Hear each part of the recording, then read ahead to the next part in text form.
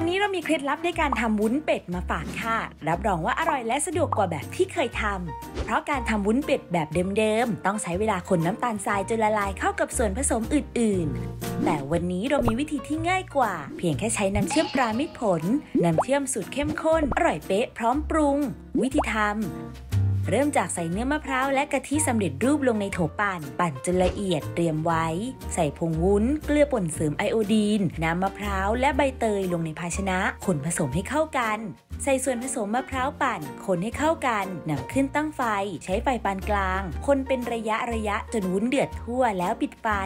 ใส่น้ำเชื่อมรามิตรผลลงไปผสม คนให้เข้ากัน เทวุ้นกะทิลงบนพิมพ์รูปเป็ดนำเข้าแช่เย็นจนส่วนผสมทรงตัวดี แกะวุ้นเป็ดออกจากพิมพ์ ติดตาเป็ดด้วยงาดำพร้อมเสิร์ฟค่ะ เพียงเท่านี้ก็จะได้วุ้นเป็ดที่นุ่มละมุนอร่อยและน่ารับประทานมากค่ะ